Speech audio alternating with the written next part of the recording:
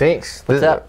Not much, dude. This is a really cool guitar. I It- was jumping into it because this is the coolest guitar. It is so cool. Yeah. Okay. So first of all, welcome to the local pickup. I'm Jason Broadwater, I'm Chris Gervais. This is a really cool guitar. and this is a really cool guitar. This is a Rickenbacker. It's a 1985 Rick. So what, what, are you, what are you so excited about? It's just, I think it's the coolest guitar we've ever had on the show. Really? Wow. Well, because as I've confessed many times on here, um, as not necessarily the most technical musician or guitar historian or lover of the nuanced details of guitars, but a designer, that's what draws me in. And this thing is just so ridiculously cool looking design wise. It just, everything, the colors, the shapes, just, ah, it's amazing. Yeah.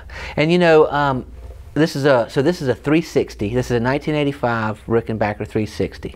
Uh, the 360s have the triangle uh, inlays versus the dots. Uh, all Rickenbacker or most Rickenbackers have the laminated neck, which is crazy different than other guitars. Mm-hmm. Yeah, but definitely it gives it that look. And Oh, it gives it a look and it gives it a feel. I love the feel. Some people don't like it. I, I love oh, I, it. yeah, I love it. It's very slick.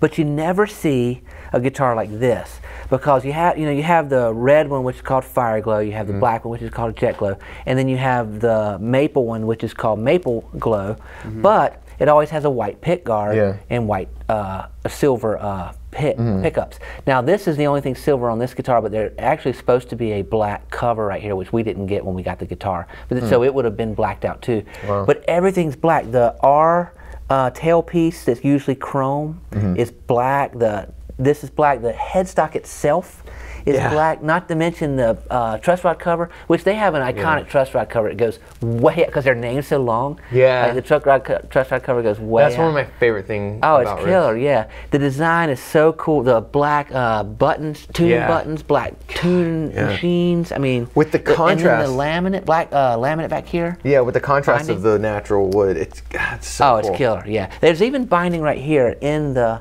in here. Yeah, that's insane. Yeah, black binding there. So beautiful. it's just one of the coolest looking ricks that I've ever seen. I think it's awesome. Yeah, it just as much as they already dominate just cool guitar design, this difference in color with with this one is just Yeah. so cool. These things have two pickups, you know, traditional setup. You got the pickup switch that switches back and forth in the neck and the bridge. Uh, of course, the neck's going to be warmer, the bridge will be brighter, just like any, any guitar that has two pickups in that sense. The middle position is both of them. But they have these uh, like Filtertron kind of pickups that are that you see on a you see on a Rickenbacker or you see on a Gretsch is the kind of class of pickup. That's one class of pickup. There's also humbuckers, which you would see on a Gibson, and then there's single coils, which you would see on like a Fender. Um, so it's a certain sound, man. I- Can, can I play it? Absolutely. um, it's a certain sound that people love and people don't like. You know, I got to pick. Thank you. Um, but it's a. It can give you both a real high, shimmery, bright, um, which they're known for with the Beatles and you know just that shimmery. Um, and then it can give you a real chunky. Uh, uh,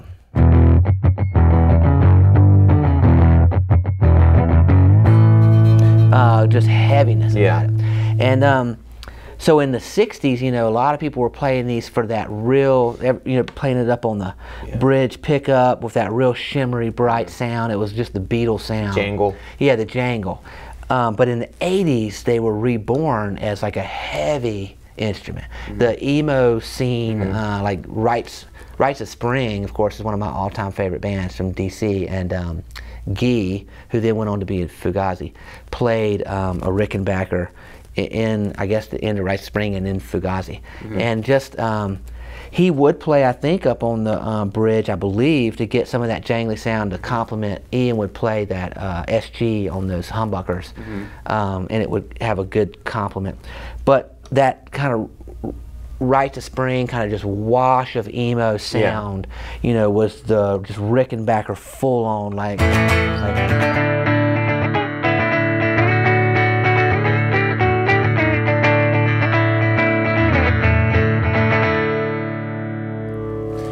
Yeah, and like heavy in the sense of big and present and wall of sound, And ver- not, not yeah. like metal, like You point that out, and that's a good point. I, don't, I use the word heavy too much it's to mean too many different things. I don't mean heavy like, uh, I mean, there's heavy bands that are metal bands that have seven Yeah. string guitars Yeah, that are yeah, like super heavy.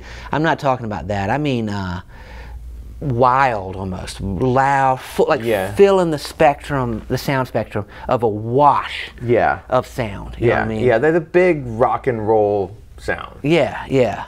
So yeah, for sure. I'm glad you point that out, that difference out. Um, there's a there's this fifth on all these Rickenbackers. There's this extra knob that, in most cases, what it does is it adds boost to the neck pickup, and it's like a I don't know if it's a gain or if it's a just a some kind of booster. I, I feel like it thickens the sound. Not only increases the volume, but you can hear like um, Wow. Yeah. So um, and it, and so if you're just you know like, or excuse me, if you're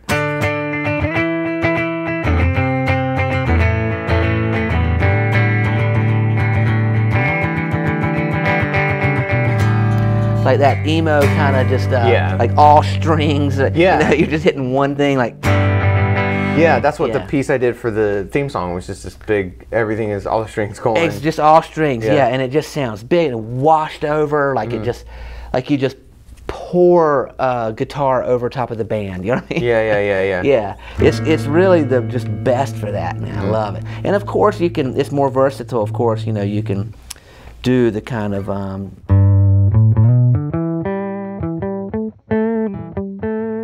or the more, you know.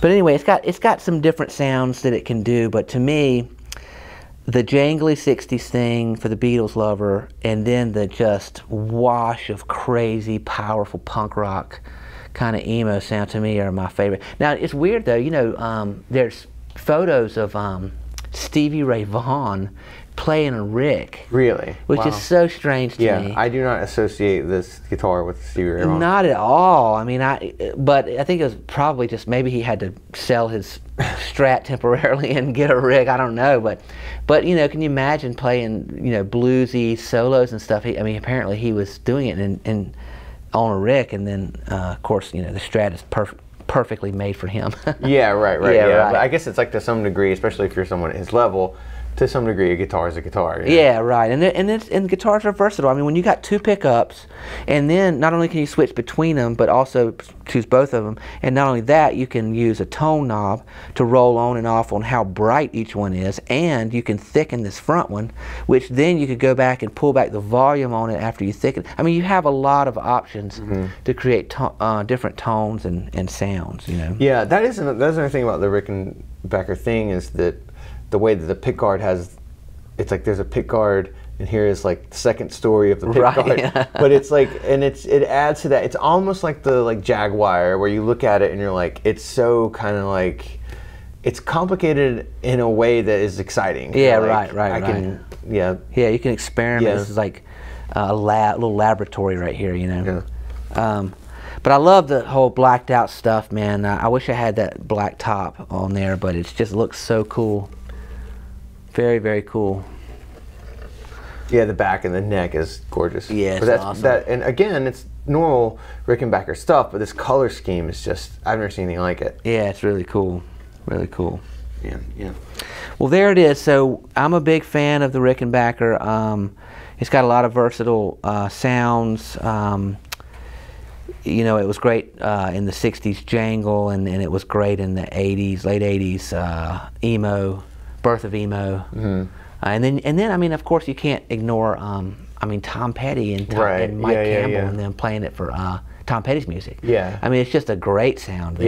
Yeah, you know. which is probably coming from the Beatles thing. It, yeah, cre- that would be an created its own evolution of that. Yeah, Yeah, yeah, yeah. for sure. But it's fuller versus um, the Beatles Yeah. is real thin, jangling. You Mm-hmm. yeah. know, whereas um, you get, uh, yeah, it's just what happened to rock music. It just got Yeah. Bigger and fuller. You know. Yeah, and it was just an iconic guitar. Absolutely, absolutely. Yeah.